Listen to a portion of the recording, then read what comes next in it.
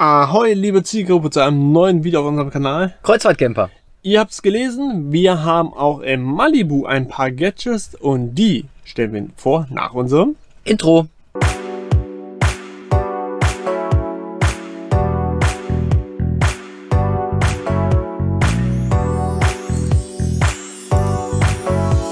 Wie wir ja gerade gesagt haben, Gadgets. Wir haben schon ein Gadget-Video über unseren Bulli damals gemacht. Wir haben ein Gadget äh, über den Pepper. Und es ist klar, auch im Malibu haben wir Gadgets. Da werden euch welche sagen, die kennen wir doch schon. Wahrscheinlich genau. Ein paar bekannte, aber Ah. auch ein paar Neuheiten. Genau, die haben wir auf jeden Fall. Und wie gesagt, wir fangen an mit Gadget Nummer 1.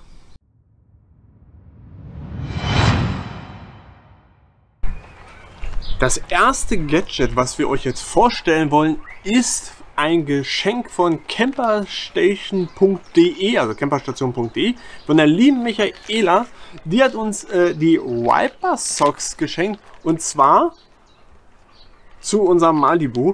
Recht herzlichen Dank dafür. Wir haben natürlich das Geschenk äh, auch in dem Sinne genutzt, dass wir das auch mal austesten. Wir wussten gar nicht, dass es sowas gibt. Nee, aber ich Waren finde es eine coole Sache. völlig äh, überzeugt davon. Äh, und wenn ihr Camper Station äh, sucht, das ist auch Shuttle Pool. Ne?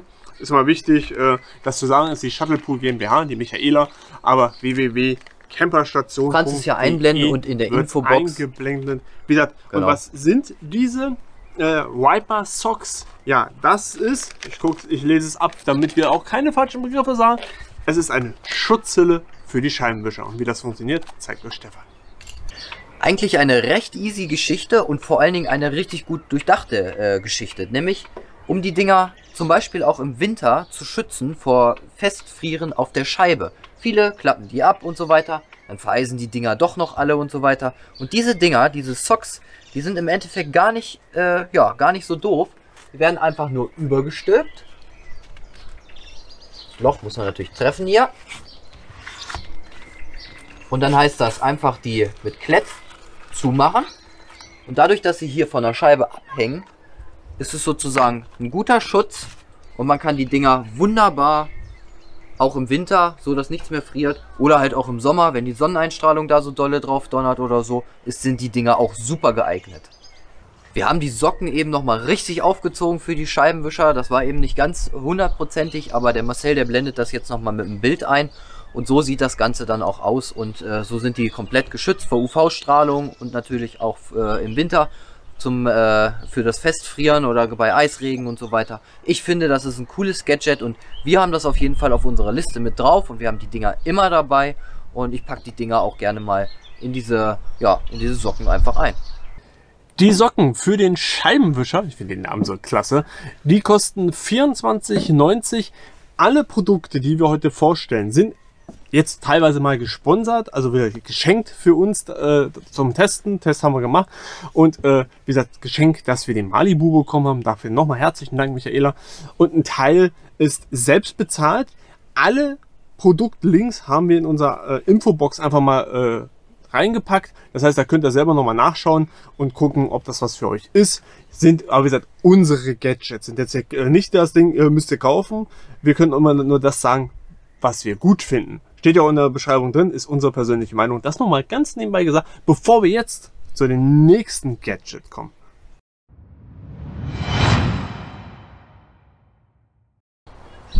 Damit das Wasserfüllen für euch auch easy wird, haben wir einen Wasserfülladapter, WAFA genannt. Auch natürlich von der lieben Michaela von camperstation.de.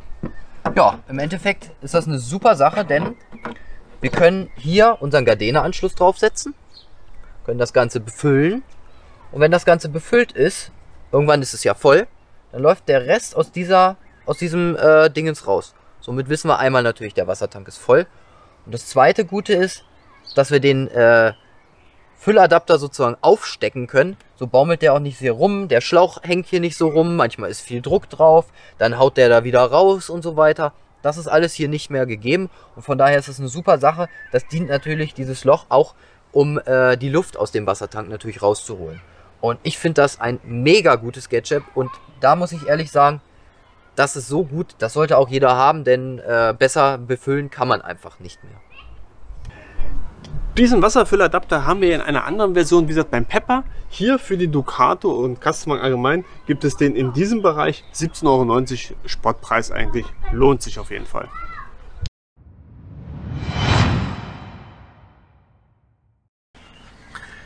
Eines der nächsten Gadgets, die wir euch vorstellen wollen, die, auf die wir nicht verzichten wollen, sind die magischen Haken. Wir mussten ehrlich erstmal suchen, wo sind sie denn abgeblieben, weil bei dem eigentlichen Anbieter sind sie nicht mehr. Die haben nämlich äh, den, äh, wie nennt sich das, Shopping-Sender gewechselt. Aber wie gesagt, äh, Verlinkung, wie gesagt, ist unten. Bei Amazon gibt's die zur Not auch, aber wir kaufen gerne das Original. Und Jetzt seht ihr schon, wir haben die gut in Einsatz.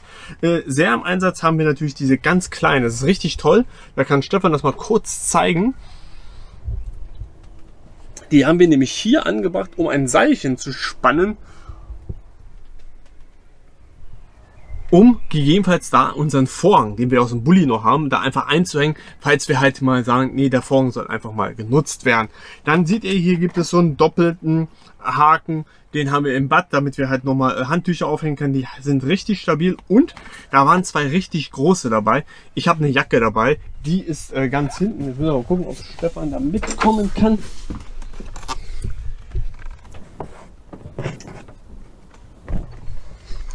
Da haben wir so zwei Stück waren mit dabei. Richtig toll, weil da können wir und mein, also unsere Jacken hinhängen. Gerade meine Jacke, die so schwer ist. Stefan kriegt immer schon äh, leichten Zusammenbruch, wenn er meine Jacke hochheben muss. Äh, das Problem ist nicht, hängt wunderbar da.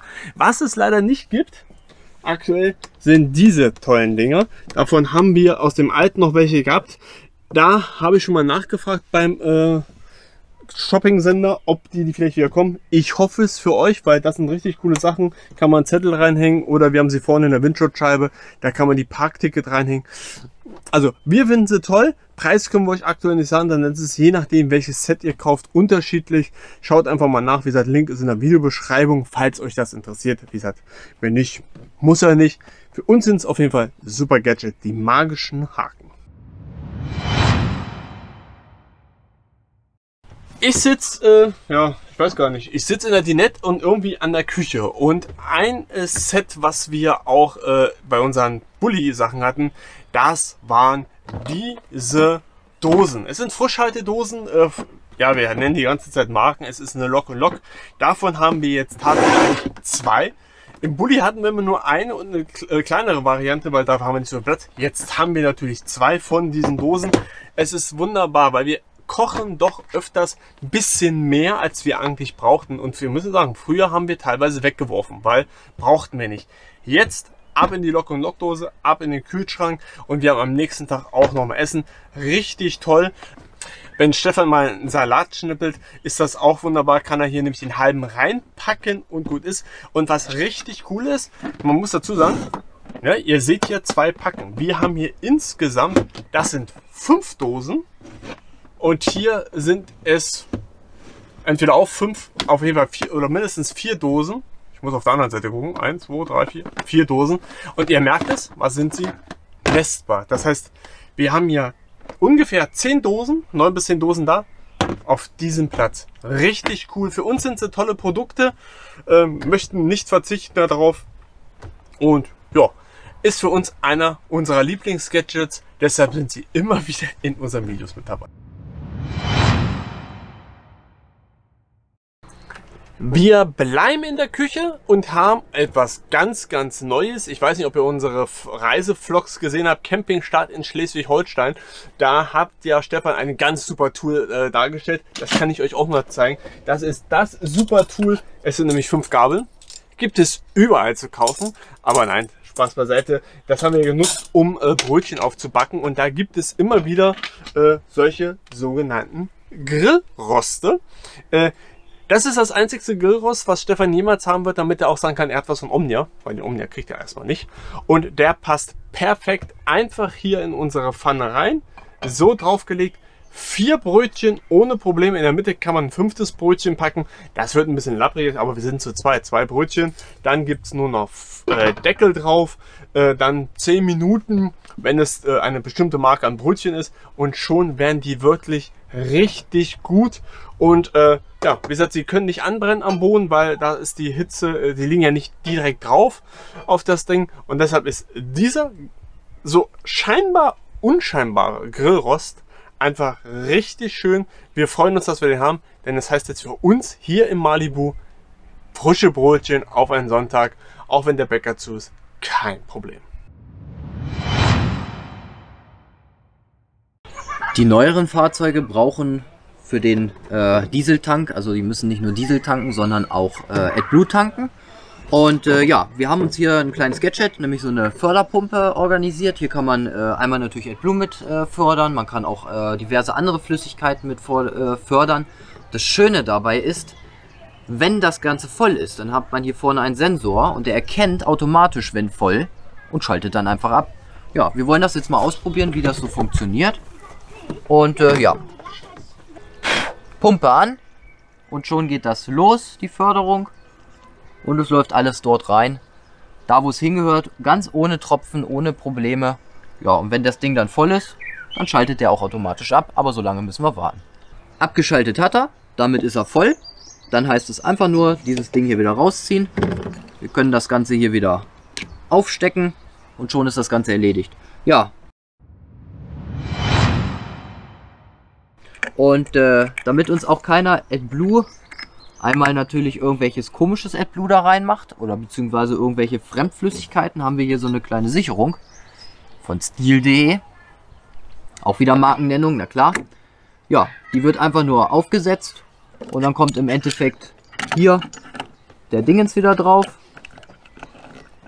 Abgeschlossen und so kann auch niemand an den AdBlue-Tank ran, also keiner kann hier Fremdflüssigkeiten reinmachen oder was entnehmen. Aber ich glaube, das Schlimmere ist dann, eher, dass da Fremdflüssigkeiten reinkommen und das wäre fatal für den Motor. Auf den letzten äh, Stromakku-Minuten äh, sind wir fast fertig geworden. Klar, ein äh, Gadget, das ist aber wirklich, ist es ein Gadget, weiß man nicht. Das sind natürlich unsere Spiele, damit wir immer bei schlechtem Wetter, weil das hatten wir jetzt in den letzten Wochen sehr viel, haben wir immer tolle Spiele. Ihr seht sie vom Dings her, ob nun Skippo, Uno, Uno Flip und so weiter und so fort. Das bringt richtig Spaß, das bringt Laune. Bei schlechten Tagen kann man die wunderbar hier in Malibu spielen. Wir würden am liebsten jetzt losfahren. Oh ja. Und würden wieder auf Achse sein. Das geht aber nicht, weil wir haben noch ein bisschen was noch anderes zu tun. Ne?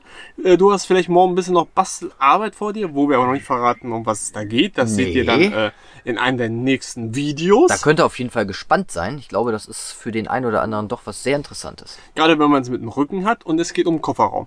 Mehr wollen wir nicht verraten, sonst verraten wir schon auch. zu viel. Äh, das sind unsere Gadgets. Also einmal, wir haben sie hier, unsere Wiper Socks, dann entsprechend den Wasserfülladapter, richtig coole Sache. Die entsprechenden, der Grillrost, dann die magischen Haken, die hier überall hängen, unsere Lock- und Lockdosen. Das sind so unsere Gadgets. Und der Fülladapter, also das der Füll, Fülladapter, genau, genau, die Füllpumpe. Der ist aber nicht dabei. Das muss man sagen, das ist eine, ist eine Sache, die wir äh, wenn wir vor Ort sind, wenn wir laden. Der Rest ist eigentlich Klar. immer mit dabei. Trotz allem, das sind unsere Gadgets. Damit äh, haben wir äh, Spaß kann man sagen. Ja. Und äh, jetzt interessiert uns natürlich, was habt ihr so für Gadgets? Habt ihr tolle Ideen, was man in dem Malibu im Van unbedingt mitnehmen soll? Dann gerne rein in die Kommentare. Genau, denn da, davon haben auch andere was. Also das heißt, wir sind ja eine Gemeinschaft und da sollten wir doch, denke ich mal, alle dran arbeiten, dass wir da ein bisschen weiter vorankommen. Und wir haben damit auch was, weil vielleicht habt ihr noch tolle Tools, die wir unbedingt brauchen. Auf jeden Fall, sehr gerne. Wenn euch das Video gefallen hat, dann gebt auch gerne einen Daumen nach oben abonniert unseren Kanal und ja, wie gesagt, kommentieren haben wir schon gesagt, gerne rein. Und dann würde ich sagen, sehen wir uns schon bald wieder bei einem neuen Video auf unserem Kanal Kreuzfahrtcamper. Bis dahin, bleibt gesund, bleibt uns gewogen und ciao, ciao. Tschüss. trying to do, what I am trying to do, is